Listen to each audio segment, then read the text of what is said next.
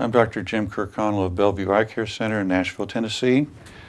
Uh, the question is, uh, how do you clean contact lenses? Well, first of all, with disposable contact lenses, almost everybody uh, gets boxes that say no rub on it. Now, that's not what I think, and uh, certainly you uh, strip off 90% of the mucus and buildup and, and actually the bacteria whenever you do rubbing for uh, 10 seconds on a side. Uh, what you do is you put eight drops or a puddle in the palm of your hand and then you have the uh, lens on your index finger and you rub 10 times in a circle on one side. You flip it over and then you do the same thing on the other side and then you're going to want to hold the lens and uh, squirt it uh, and then put it in fresh disinfectant overnight and that is uh, something that really allows the uh, disinfectant to kill the microbes much better, and it's going to make your contacts feel better whenever uh, you put them on, and also uh, toward the end of the usual disposable life, which is two weeks or one month, depending on which lens you